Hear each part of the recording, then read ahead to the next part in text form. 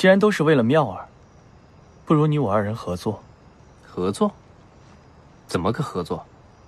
该不会是将他腹中的孩子劈成两半吧？小姐，咱们有必要穿成这样吗？大侠夜行都是如此的。咱们这次偷偷摸摸来，为的是偷走宋熙远的私章。要是被旁人发现了，如何是好？可你好歹是宋家少奶奶，咱们为什么不走正门啊？你见过哪个大侠是从正门走进去的？总之，今天你一定要配合，千万不要出什么岔子。可是，别可是，进去之后再说。好。公子，裴大人到了。裴大人深夜来访，又为了什么？宋公子也是商场中人，想必沈家之事也有所耳闻。我倒想问问你，到底和妙妙何冤何仇，要害她到这个地步？此言何意？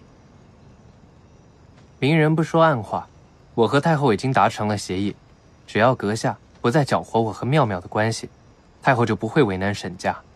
虽然我不知道裴大人到底哪里得罪了太后，但是为了妙妙的安全。还是请你别再接近她了。三公子真的认为太后之言可以相信？三公子因何目的接近沈家？裴某不愿管。只是妙儿是无辜的，不论你我二人如何交锋，都不应波及于他。真巧，宋某也是这么想的。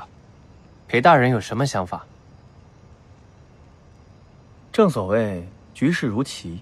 分久必合，裴某也不愿树三公子这般可怕的敌人。既然都是为了妙儿，不如你我二人合作。合作？怎么个合作？该不会是将他腹中的孩子劈成两半吧？孩子之事尚且不论，不知三公子对皇商之位可否动心？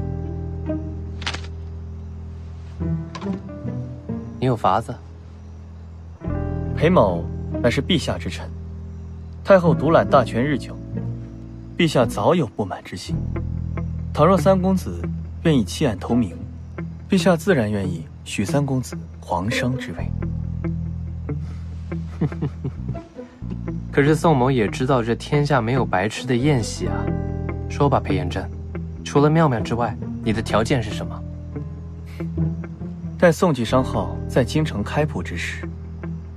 裴某想要三公子当我的耳朵，这裴大人就如此信任我，认定我甘愿为你驱使。与其说信你，不如说我相信你唯利是图的商人本性。何朝诸子，唯有我可以实现你心中所想。